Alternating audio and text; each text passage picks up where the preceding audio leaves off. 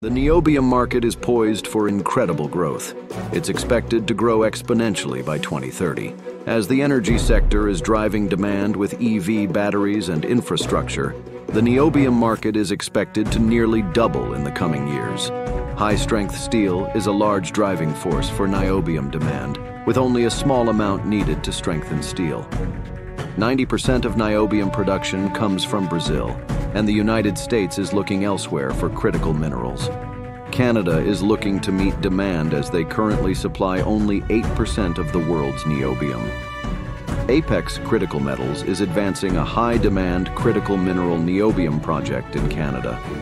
With advanced exploration techniques and strategic project locations, Apex Critical Metals is committed to meeting the growing global niobium demand.